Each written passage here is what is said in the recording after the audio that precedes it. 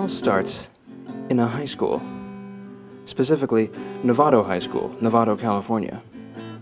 This is the story of a feature film made entirely by high school students, starring high school students, for a high school film class about life in high school.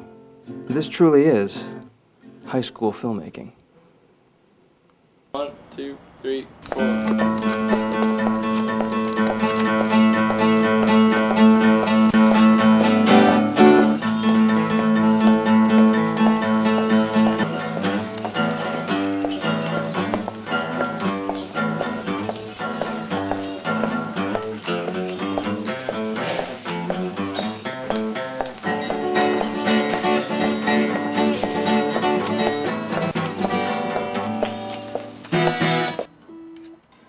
In early 2005, sophomore film student Beth Dish set out to make a dramatic film of a cautionary tale aimed at and depicting high school. Her initial concept addressed teen pregnancy. A few months after that fell by the wayside, I suggested a similar film addressing fashion and teenage self image issues. I called it Curse of a Beautiful Girl, and it was this treatment that eventually evolved into A Moment's Image. Over the course of 2006, A Moment's Image was developed into three parallel stories, each addressing different issues.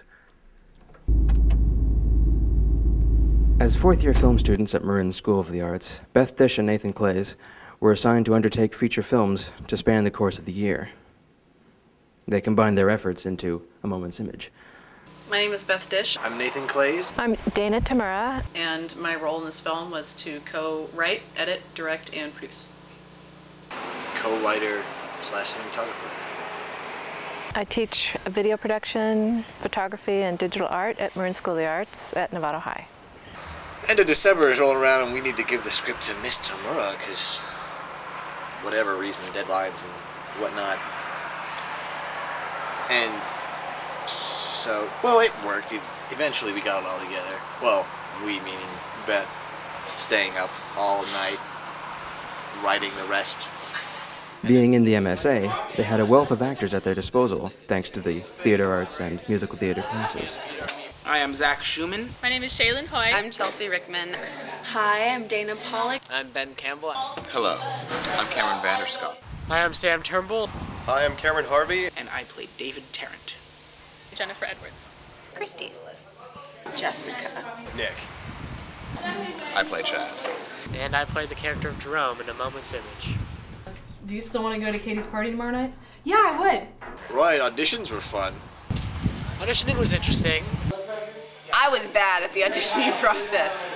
You know, we just sat while the other person auditioned, and you know, one by one, we each came back saying how horrible our, our auditions were.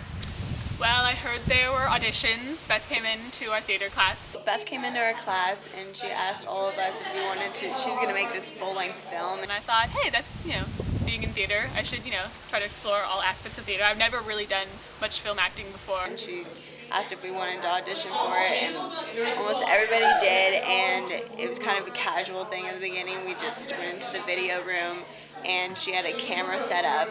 We were still revising the script while we were doing auditions, so we had all these actors come in, smelly, sweaty actors come in. We had written some characters with that actor in mind.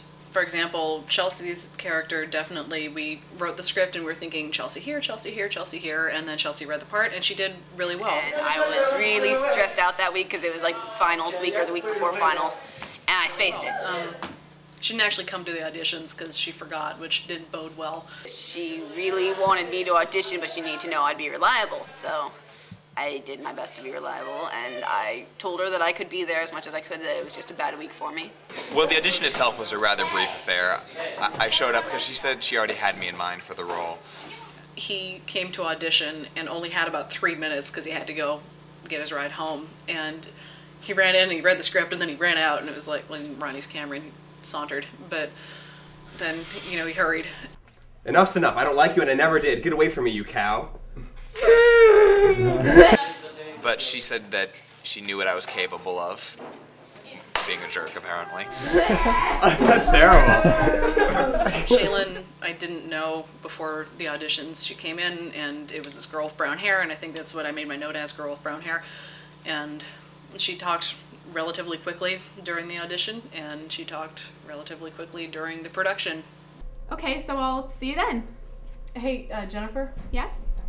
do you uh want to call this a date? Yeah, I'd like that. Okay. Um, and then Beth emailed, emailed me back and she's like, hey, you're in it. So I was like, cool. It was exciting.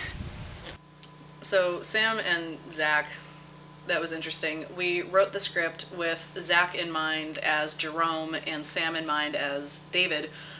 And then when they came to audition, Sam we had Sam read for David and Sam did not do very well at all in that role. He just did not get into it, couldn't feel it at all. I just said I would. Oh no, you're not going. You're not allowed to stay here until you go out there and get a job. God, what am I gonna tell your father? He's not my dad, and I can take care of myself. Um, same goes with Zach. We had him read for Jerome, and it just felt wrong. It didn't do almost anything for either of us, me and me or Nathan. Cool. Let's get down to business. All right. Obviously, when I go to meet the head of the Greens, What's his name? Justin. Anyway, I can't be alone, even though that's what we agreed on before. Uh, when Ben was auditioning, that was a lot of fun because I love Ben. He's fun to work with, and we tried him out for Matt, and he did really, really well as Matt, and he got the part of Matt. This isn't natural. You were fine before, and you would have made plenty of friends then. No, I wouldn't. Real friends wouldn't make you change the way you look and act. It's different because I've never really auditioned for anything on film before. I usually audition for stage pieces. I just read the lines and I didn't feel like there was much emotion to it. And so I was like, I don't really know if that was good or bad. They read the most horrible, horrible lines I've ever wrote, ever. And I was like, oh, did I write that? I have to change that. But you know, it was stressful, but I did it. It was short, quick, and easy. Thought afterwards, you know, I did a horrible job. I'm never gonna get picked, but you know, just glad I did it. Turned out well. I didn't know the material at all. So, uh, you know, I just went with it, reading it for the first time. But I guess it went well. Got a part. Well, just just to, to head this off, film is way different than theater in a sense that when you're in theater, um, everything is really big, and film you can do it a lot smaller and still get, get it across. It was just, it's so different than stage auditions. Uh, it was, you know, it was different and it was much more difficult because it was hard not to, you know, overact and express more emotion. I guess this is a lot different from theater because in theater, most of the time we're overacting and doing, you know, crazy stuff like that. On the outside of you as opposed to the inside of you, which is basically film versus theater. In film acting, it's supposed to be a lot more natural or a lot more just normal, which I'm not used to doing. So that was actually a lot, a lot more difficult for me.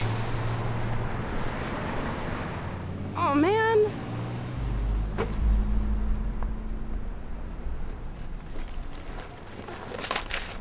Oh.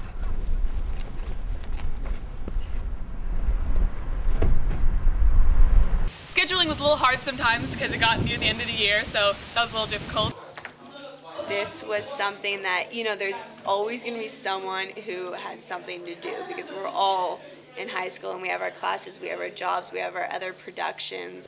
I've been doing fencing, so I've been going out of the a couple times when we've been filming. I've been in Pasadena, or in Colorado, or in uh, Arizona, or someplace else. And Beth is calling me like, "Oh, are you ready for the shoot tomorrow?"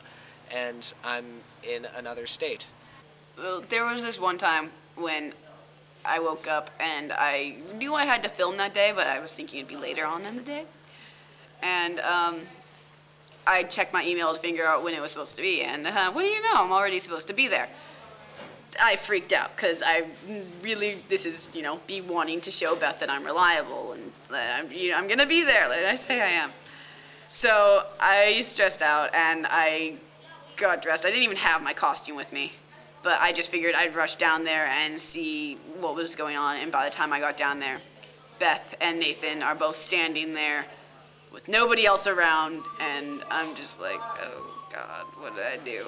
And you know, Beth basically just says, um, yeah, nobody showed up, so she goes, you're the first person to show up, and you know, at least you're making an effort. So that was a little helpful to not feel quite as bad about being late. There were a lot of things that happened that were unplanned that I had to deal with that were really annoying. Um, and we had to do some emergency recasting, and I got Daniel the day of the shoot because I was trying to get Evan Loker and I was trying to get a couple other people and nothing ever worked out. So I ended up with Daniel, which he did a really good job, so it was fine. It was crazy because we would just squeeze it in there. Like sometimes Beth would just call us at, you know, she would say, okay, tomorrow night we're just gonna all meet at 9:30 in the back of the school, and um, we're gonna um, shoot this scene as fast as we can. And you know, someone would be like, okay, well, I have to be somewhere at 10 or something. She's like, fine, we're gonna shoot in a half an hour then. I'm glad that everybody that I got to work with in the film was someone that I already knew because we had that bond and we had that we were just like comfortable with each other and it's so much more. Guys, check out my skill. sorry. Oh, I'm sorry. I'm having my close up right now. I know there's a lot of annoying people on the set too. I've been trying to deal with her, but I have to pretend to be her best friend in the movie, and frankly, one of the hardest characters I've ever. Oh, you, you can bring it. Is, is that Bitch, just kidding. we did have this fight scene the other day oh, though. I came home with bruises. So. We like slap the shit out of each other. Go ask him. I don't know. Oh my god, just go do it! Do it, do it, do it, do it, do it, do it, do it, do it, do it, do it! Yeah, you go through a lot in the film I'm process, but I'm willing be to like- like put myself out there and really You know, take it. keyboard on it. You know, I mean, it's hard, but Oh, it's what we do. It was great working with people that you know I knew and that I was friends with, and I was able to uh, work with them. Like Sam, it was fun to work with him because we had never, since he was in the theater arts class, I've always seen his stuff. I've never been able to work with him, and so that was a good experience. And this is where we hang out. We? Yeah, me, Brock, and Theo and Nick. Who's the? Yeah, me, Brock, the whole gang. Um, the whole production overall was really fun because I got to work with Ben most of the time, which was really funny because he just he can't be normal. He's just so funny, and we love him. And I mean, every scene we did just turned out to be something that we'd crack up at. And it was rather hard to keep a straight face when Ben had to kiss me on the cheek or put my hair behind my face because Ben makes rather funny faces when he's doing that. And it was really difficult. And Ben just walks funny sometimes, so that was really funny. You put your finger in my ear. Do it over again. he was like, I don't wear tights. I don't know. Yeah, that relationship between um, Beth and Nathan had it, it had already been building a little bit previous years. I think that Beth considers Nathan her camera operator, and Nathan considers Beth his partner. Explain the significance and the in, in the irreplaceable crucial crucial role that you play, and how important That's it is. bad. it's been really great working with him because you know we have a really great partnership and I I feel that we just work really well together and he comes up with a lot of shots frequently that I would never ever think to do. No, but we can cut in the middle of the shot to him standing up at a different shot.